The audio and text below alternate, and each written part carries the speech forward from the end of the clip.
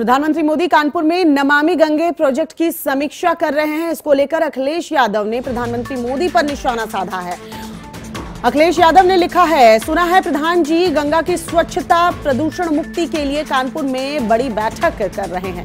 वहाँ निरीक्षण के समय फिर से गंगा में गिरने वाले नालों का मुख मोड़कर नकली सफ़ाई को झूठ का चश्मा पहनाया जाएगा। सलाह है कि प्रधान जी पहले भ्रष्टाचार का गोमुख साफ़ करें, तब कानपुर पहुँचे।